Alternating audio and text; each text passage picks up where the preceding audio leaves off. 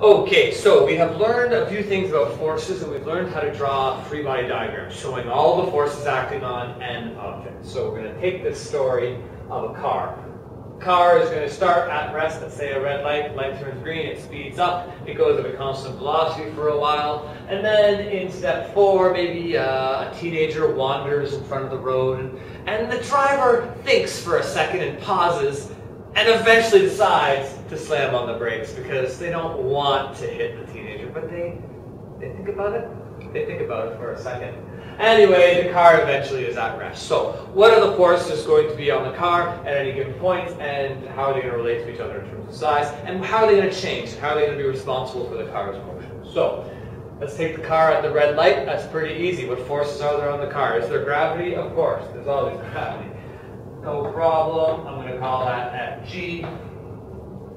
What other forces on there on the car? The car is resting on a surface. That's why I've drawn the dotted line. The car is on the ground. So that means there's going to be a normal force. And the normal force is going to be up. It's going to be perpendicular to the surface. 90 degrees to the surface. It's always 90 degrees. That's normal. That's why it's called the normal force. Okay, any other forces? Is there applied force? Is anyone pushing on the car? It's just sitting there. Is there any friction on the car? No, there's no one pushing, so there's no need for friction. There's no rope to pull on it, it's not moving, there's no air resistance, there's no nothing. So that's the whole diagram. Then the only question is, are the forces balanced or not? The car is at rest, the acceleration is equal to zero, and therefore all the forces have to be balanced. So slashy slashy. So maybe I should make this guy a little bigger so it looks a little more balanced. They're going to be equal and opposite. No acceleration. In this question, the car is going to start accelerating to the right, though, so I am going to call to the right the x direction. Even though right now it's not accelerating anywhere, it's about to accelerate that way. So I'm going to call that way. When I know the way something accelerates, I like to call that the x direction. So now the light goes green and the car starts speeding up. What forces are there on the car? Well, first of all, have any of the other forces changed? Gravity is still there, and gravity hasn't gotten any bigger, hasn't changed. It's on a flat, level ground.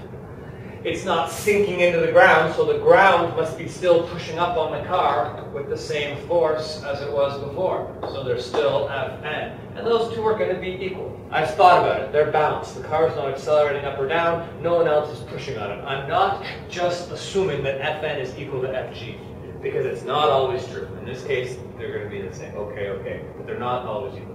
What other forces must there be? Obviously, the car is accelerating to the right, so something must be pushing it to the right.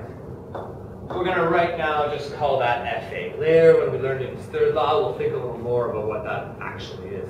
But we haven't even learned Newton's first law yet, have we? So there's some push. Let's say the engine pushes on the car to the right, and that's why the car is accelerating this way.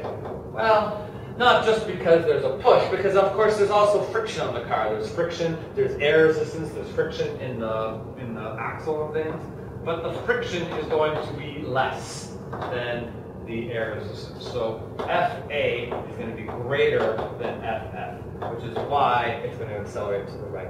If the car is going to accelerate in that direction, then the forces in that direction have to be bigger than the forces in the other direction. I didn't space myself out here very well, did I?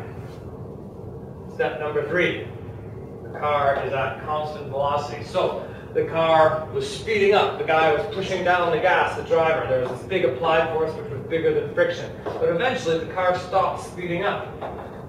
Is there still gravity on the car? Of course there is. And there's still a normal force. And we're not shocked to see that Fn and Fg are still equal to each other. That's okay. But what's going to happen now?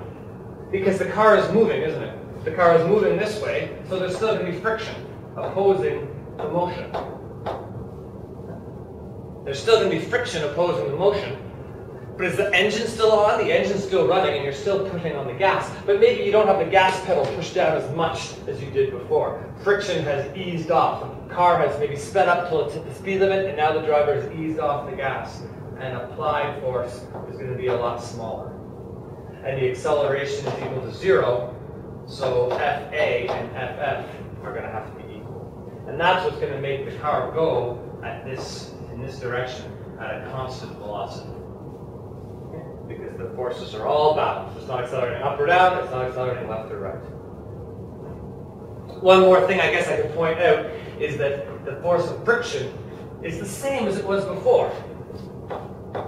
Cars are complicated things, so there's air resistance, there's friction between the tires and the ground, there's friction between the axles and the, and the wheels, and, and so it's complicated. But I hope you sort of understand what I'm saying. The friction stayed the same and the applied force decreased. But then in step four, the teenager wanders in front of the road, and the teenager didn't even look up from his phone. So the driver just thinks for one second, if I had to tell a judge that the kid just walked out in front of me and I had no chance to avoid a collision, would the judge believe me?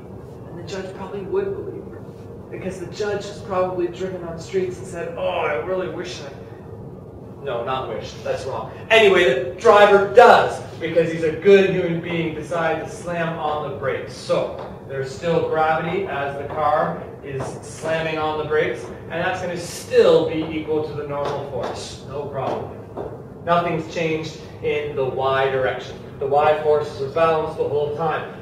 But now, the applied force is gone, isn't it? Because the driver took his foot off the gas and hit it on the brakes. So there's friction, but there's a lot more friction than there was before.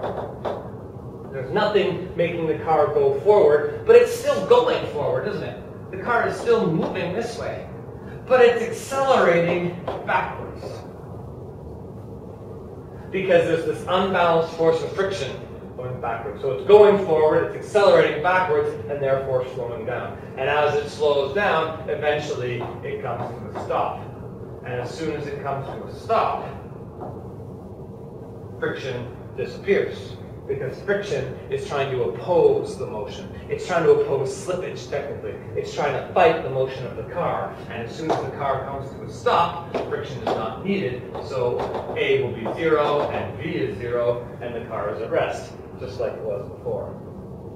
But the interesting thing to understand here, really, I think, is number three, that even if the car moves at a constant speed, all the forces are still balanced. They still add up to zero.